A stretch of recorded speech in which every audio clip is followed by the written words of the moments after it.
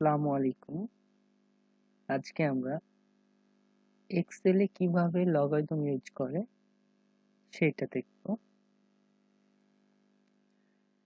এই জন্য আমি প্রথম কলামে শুধুমাত্র যে ভ্যালুগুলো লগারিদম বের করব সেগুলা নিয়ে নিচ্ছি। দশ, বিশ, এভাবে আমরা আমাদের যতগুলো প্রয়োজন, নিয়ে নিব। আমি এখানে দশটা নিচ্ছি। এইখানে আমরা ভ্যালুগুলো বের করব। এর জন্য প্রথমে কি করব? প্রথমে ইকুয়াল তারপরে লগ টাইপ করব। এরপরে ফার্স্ট ব্র্যাকেট এরপরে যে নাম্বারটার ভ্যালু বের করব, সেই নাম্বারটা ক্লিক করব।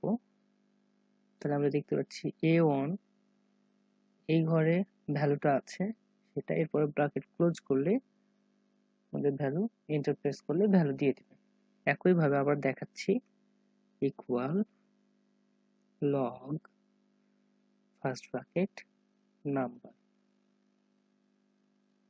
bracket close enter বাকিগুলো বের করার জন্য আমরা বারবার টাইপ করব না। প্রথম দুইটা ঘর সিলেক্ট করার পর আমরা শুধুমাত্র এইভাবে মাউস পয়েন্টের সাহায্যে বের করে ফেলব। তো, এই ছিল আজকের ভিডিও সবাইকে ধন্যবাদ।